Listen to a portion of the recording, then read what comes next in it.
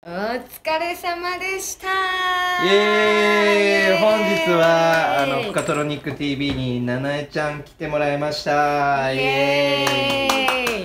プカトロニック TV 出演は2回目でございます。2回目です、はい。1回目はねうちのねあのー僕の家で撮影して。しゅうくんの家で、はい。あの緊急事態宣言入ってちょっとのね最初のステイホームの時ね。ちょうど1年前のね。ね6月だった。はい。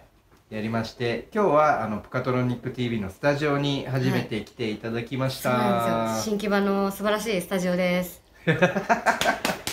イエえっと今日のあのプレーはねもちろんすごい良かったんでみんなあの見てほしいんですけれどーイありがもとうございます。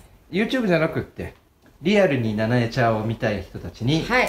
向けてそちょっとあのスケジュールの方を共有してもらえると、うはい。ででまず、えっと6月25ボノボ、えー、リンゴ音楽祭のスリーパーが最近ボノボであのレギュラーでやってる。AM っていうパーティーにあのなんか毎回出てるんですけどそれがあります。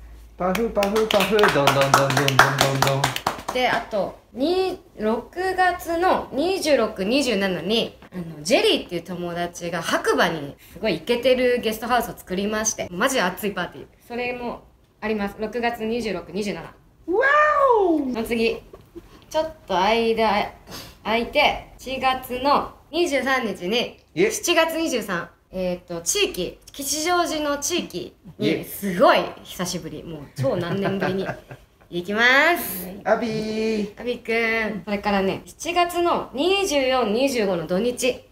イェイ。ニュービレッジっていうパーティーが大場キャンプ村ってあります。おい。野外ですね。やらいですね。はい。でですね。はい。自分の企画があります。ででん。ででん。7月の31日土曜日。えっと私とあのポータルさん。の共同企画で都内某所でオールナイトありますイェイ。イエイ。ポータル君は先日プカトロニック TV でもやってもらいました。そう。この間スリックでもうぶちかましてました。